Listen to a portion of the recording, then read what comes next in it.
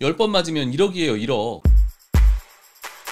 아로미님들 요즘 유명 연예인들이랑 재벌가에서 프로포폴을 남용했다는 그런 의혹이 기사화되고 있어요. 저도 한때는 수술할 때 프로포폴을 많이 사용했습니다. 예전에 지방 흡입과 이식을 전문으로 하는 병원에서 1년 넘게 일을 했었는데요. 수술의 특성상 통증이 굉장히 있다 보니까 프로포폴을 매일 또 많이 사용하게 됐습니다. 저는 이제 지금도 미용 시술 하고 있으니까 미용 시술 받으면서 수면 마취도 같이 해주면 안 되냐 요청을 해주시는데요. 수면 마취약은 의식을 잃게 해주는 건데 아무것도 안 건드리면은 수면 마취약을 조금만 넣어도 금방 새근새근 잠이 드세요. 그런데 아픈 거 하려고 수면 마취 한 거잖아요. 작은 양으로는 자꾸 막 일어나세요. 우와 좀비처럼 막 아픈 거 할수록 양을 더 많이 써야 돼요. 근데 수면 마취에 들어가는 속도를 높이게 되면 자발적인 호흡이 자꾸 억제돼요. 내가 숨이 찬데도 숨을 안 쉰단 말이에요. 그러면 이제 의료진들은 굉장히 신경 쓰이고 난리가 나는 거죠. 최대한 적게 쓰면서 컨트롤 하려고 하는데 적게 쓰면 자꾸 일어나시고 일어나면서 바늘 빠지고 아무튼 항상 수면 마취 할 때는 매일 하는 건데도 불안불안한 마음을 가지고 하는 거예요. 자 요거 한번 볼까요? SBS 8시 뉴스에서 단독 유명 배우 재벌가 포함 10여 명 프로포폴 수사 2012년도에도 현금만 주면 하루 종일 주사 놔줬다 이런 병원이 있어요. 하루 이틀의 이야기가 아니라 계속 반복되고 반복되고 맨날 반복되는 그런 일인 것 같아요. 프로포폴 사망 의료계 종사자 최다 2000년도에서부터 2011년도까지 조사를 했네요. 의사, 간호사, 간호조무사, 병원 직원 왜 의료진이 이렇게 많이 죽었을까요? 제 생각에는 혼자 주사를 맞은 거예요. 환자한테 수면 마취를 할 때는 숨을 쉬나 안 쉬나 산소도 주고 이렇게 하면서 수면 마취를 하는데 여기에 있는 의료진들은 그런 걸 안 했을 거예요 아마. 혼자서 팔 묶고 수면 마취를 한 거죠. 그래서 이 SBS에서 취재를 갔 어요. 프로포폴 중독자들은 작은 시술을 해놓고 계속 재워달라고 하세요. 이렇게 말씀하시는데 제가 생각해도 약간 그럴 때가 있었어요. 제가 이제 페이닥터로 일을 했을 때 어떤 시술의 간단함에 비해서 수면 마취 시간이 조금 긴 거예요. 시술 때문에 온 게 아니라 프로포폴 때문에 오셨나 하는 그런 뭔가 쎄한 기분이 드는 거죠. 이 기자분이 잠입 취재를 했어요. 그래서 이제 뭐라고 말씀하시냐면은 보톡스를 하면 잘 수 있다고 제가 전해드렸어요. 이게 소개로 왔다 이거죠. 힘드시니까 수면 마취를 해드리는 걸로 해서 진행을 해드릴게요. 실제로 진료하다 보면 이렇게 deal이 들어오는 경우가 있어요. 보톡스 가지고 deal이 들어오진 않았었고 저 같은 경우에는 좀 비싼 걸 가지고 환자분이 deal을 해요. 나는 울세라를 하고 싶은데 많이 피곤하고 최근에 바로 했고 그래서 울세라를 하고 나를 바로 깨우지 말고 길게 할 수 있냐라고 이제 deal이 들어오는 거죠. 저는 뭐 pay doctor니까 우린 그런 거 없다 이제 하고 끝을 내려고 하는데 굉장히 집요해요. 내가 너무 아픈 걸 너무너무 못 참고 불면증이 있고 일이 너무 힘들고 인생도 힘들고 내가 막 이걸 맞아야 되는 이유를 요각도 조각도 위각도에서 굉장히 저를 막 설득을 엄청 하려고 하는 편이에요. 그런 상담을 하다 보면 좀 무섭다 이런 생각이 들어요. 처음에는 제가 웃으면서 안 됩니다 이렇게 거부를 하지만은 나중에는 덜덜 떨면서 아이 뭐 약쟁이 아니야 안 된다고 계속 이제 설득을 하는 거죠. 금액에 대한 얘기가 나오는데 통상 하루 종일 프로포폴을 투약하면은 금액이 어느 정도예요? 라고 물어봤더니 제보자가 그건 환자분들마다 조금 다른데 그래도 천만 원 정도 돼요. 천만 원? 수술비도 천만 원 하는 경우가 그렇게 많지 않잖아요. 거의 5, 600 많게는 1,500만 원까지 수납이 돼요. 이렇게 말씀하셨는데 재워주기만 하고 천만 원 받는다. 수술비보다 훨씬 비싸네요. 아마 이제 이런 병원이 있으니까 취재를 한 거겠지만은 제가 볼 때 굉장히 특이한 케이스가 아닌가.